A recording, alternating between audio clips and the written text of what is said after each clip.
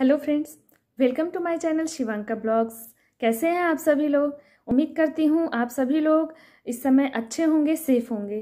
तो आज का वीडियो आ, कोई ब्लॉग नहीं है सिर्फ़ ये एक इन्फॉर्मेशन है जो मैं देने वाली हूँ कि हमारे यहाँ किसने किसने वैक्सीन लगवा लिया है। आ, तो बस ये एक छोटा सा इन्फॉर्मेशन ही है क्योंकि बहुत सारे लोग घबरा रहे हैं वैक्सीन लगाने में तो इसलिए मुझे लगा कि मैं, मेरे यहाँ जिसने जिसने भी वैक्सीन लगवा लिया है तो ये छोटा सा इन्फॉर्मेशन आप लोगों को भी बता दूँ कि क्या प्रॉब्लम हुई वैक्सीन लगवाने के बाद और क्या कोई परेशानी आई या कोई परेशानी नहीं आई तो बस ये छोटा सा वीडियो उसी के लिए है तो मेरे यहाँ मेरे हस्बैंड ने लगवाई है क्योंकि वो लोग फ्रंट लाइन वर्कर्स हैं। गवर्नमेंट जॉब में भी जितने भी लोग फ्रंट लाइन वर्कर्स थे, जिनको पब्लिक के बीच में रहना था तो उनको सबसे पहले लगा हुआ था वैक्सीन तो उसमें मेरे हस्बैंड मेरे भाई और मेरी दीदी भी आती हैं तो उन लोगों को सबसे पहले वैक्सीन लगा था और उन लोगों को दोनों डोज लग चुका है।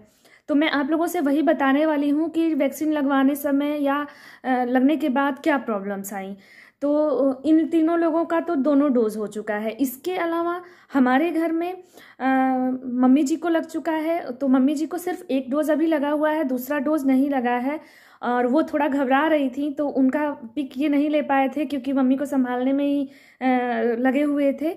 इस वजह से उनका पिक्स नहीं ले पाए थे, लेकिन मम्मी को एक डोज लग चुका है। दूसरा डोज अभी उनका लगवाना बाकी है और हो सकता है कि दूसरा डोज लगे और जब मुझे वैक्सीन लगे। जैसा कि मैं आप लोग को बताना चाहती थी कि मुझे वैक्सीन अभी तक नहीं लगा है क्योंकि हमारे शहर में एटीन प्लस वालों को अभी तक वैक्सीन नहीं लगा हुआ है। नहीं लग रहा है। तो इसलिए मुझे भी नहीं लगा है, कोशिश किए थे ये कि लग जाए, लेकिन अभी एटीन प्लस से लेकर के और फोर्टी फोर तक ईयर्स तक के लोगों को अभी तक नहीं लग रहा है हमारे शहर में। तो इसलिए मुझे अभी तक नहीं लग पाया है, लेकिन जैसे ही वैक्सीनेशन शुरू हो जाएगा, मुझे भी लगेगा। तो मम्मी को, मम्मी की सेकेंड डोज का और मेरी वैक्सीनेशन का जब वैक्सीन होगा तो उसके बाद मैं आपको ज़रूर इन्फॉर्म करूँगी।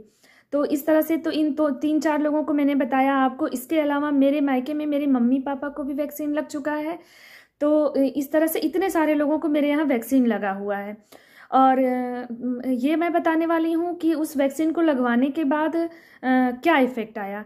तो जैसे मेरे हस्बैंड लगवा के आए थे तो वो तो बिल्कुल नहीं घबरा रहे थे। उन्होंने तुरंत जैसे ही वैक्सीनेशन स्टार्ट हुआ जा कर के उन, उन्होंने और मेरे भाई ने सबने लगवा लिया था। तो आए थे तो थोड़ा सा बोल रहे थे कि लग रहा है कि मुझे फीवर होगा। लेकिन शाम तक फिर वो नॉर्मल हो गए थे और उनको कोई दिक्कत नहीं हुई थी। और अभी तक उनका दोनों डोज कंप्लीट हो चुका।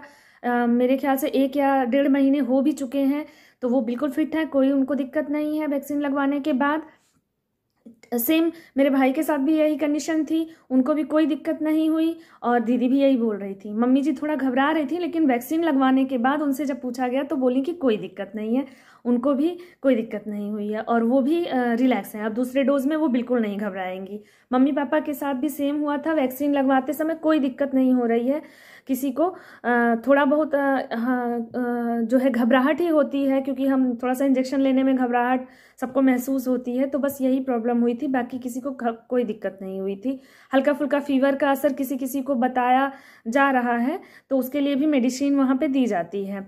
तो इसलिए जो है वैक्सीन आप लोग लगवा सकते हैं, और मैं तो वैक्सीन लगवाऊँगी, जब लगवाऊँगी तो आपके साथ ज़रूर शेयर करूँगी। तो बस यही छोटा सा वीडियो मैं आपके साथ शेयर करने वाली थी, और सबका मैं पिक्स आपको दिखाऊँगी कि जिन्होंने जिन्होंने वैक्सीन लगवाया था, वो सब मैं साथ में अटैच करते जाऊँगी, सबके साथ कि किस किस ने वैक्सीन लगवाया था।